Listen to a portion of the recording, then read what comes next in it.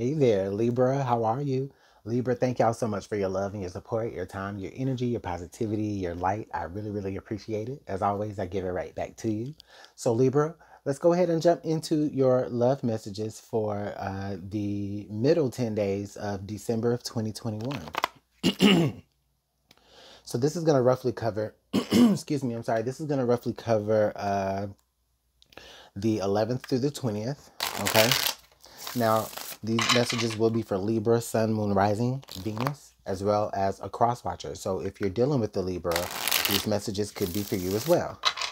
I want you guys to keep in mind these messages are general, so make sure that you're using your own intuition as well as your uh, your discernment and your best judgment as well. Okay, and don't force the message, y'all.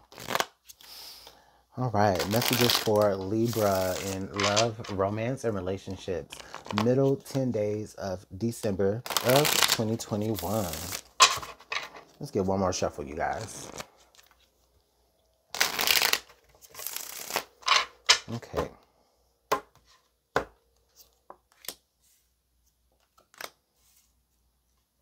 Hmm, okay.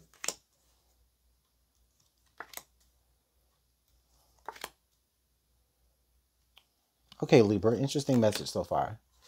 Interesting message. All right. Listen, right under the deck, straight under the deck, we have lost love. All right. We got lost love coming here. So Libra, I, I do feel like um, for a lot of you, this this message and this energy could be, um, it could be uh, about uh, someone from your past. It could be about someone that you uh, it feels like someone slipped through your fingers, the one that got away. Um, for others of you, it could be where this is like, you know, maybe this person uh, is just no longer with us here. Um, and so, but you're still thinking about their energy. You're still thinking about, um, you know, memories and times, right? But either way, this is definitely about someone from your past, okay? For sure. All right. Um, or you could just be having feelings about someone from your past. Now, as far as the connections that you're making, um, now I do see here on your top row we have single, we have in love, and then we have many loves. So this is what I'm feeling like, Libra. I feel like you have your options open. Okay. Uh, Libra, I feel like you guys really could be actually single in this moment. Um, now, I definitely feel like you are dating. You could be casually dating. You could be talking to many different people. Okay. Um, but there definitely could be one person that you do feel as though you could be able to build with. All right. So many of you are having those type of situations. You're dating multiple people, but there is one person that you have identified that you want to actually be in love with and that you are actually falling in love with. Now, um, I also feel like for some of you, this could be about uh, again, this lost love energy from the past. This could be where, you know, technically you're single and um, you're still in love with this person, right? But you may be dating and you may be talking to many other people. Uh, you could be trying to, you know, recreate what's in this cup here. Um, or you could be trying to bust yourself out of you should be, you could be trying to get over one person while getting under a new one. And that's no shade. I mean, that's just what humans do. Okay. A lot of us do that sometimes. All right. Now, here on your bottom row, we have tie the knot, we have by the book, and then we have attraction. And so I'm looking at all the heart shaped symbolism. That's the first thing that catches my eye here on these cards. Um, on tie the knot, uh, by the book and attraction. So Libra, it also feels like I'm. I feel like Libra, the approach that you're trying to take in your connections is it's almost like you kind of want things to happen in a particular way. Okay, you want the. Uh, you know you want attraction okay and then not only is there attraction but now this person actually you know kind of checks off all the boxes right uh, I feel like the book of love is, is is like when you write information down, when you write what you want in a partner down, okay, um, so that it comes to you, so that you attract it, okay.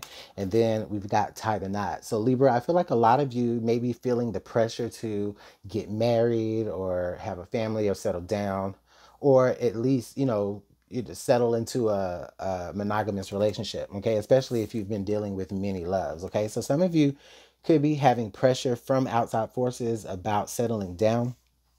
Others of you, this is where you're putting the pressure on yourself okay? Because you could be trying to find an individual that ver- that will give you what someone from your past gave you okay?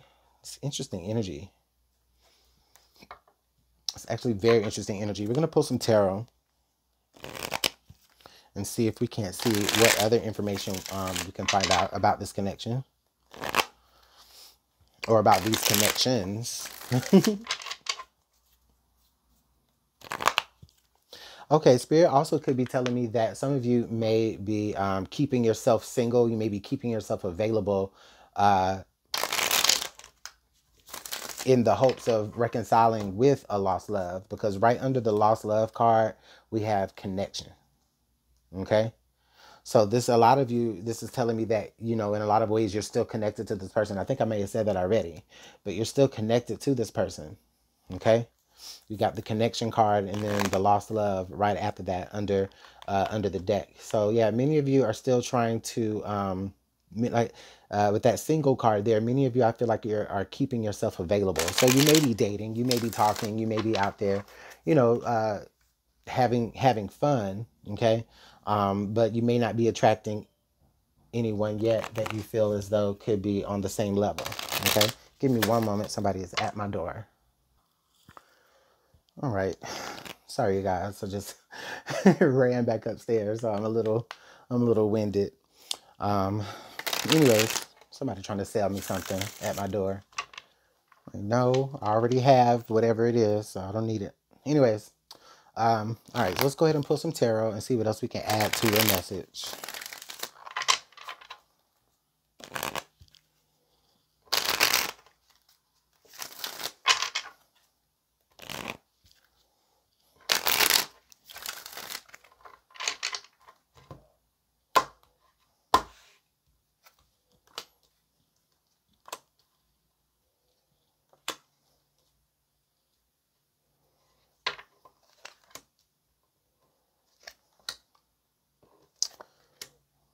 Hey, Libra, let me tell you something. This Queen of Wands has been showing up for Libra a lot.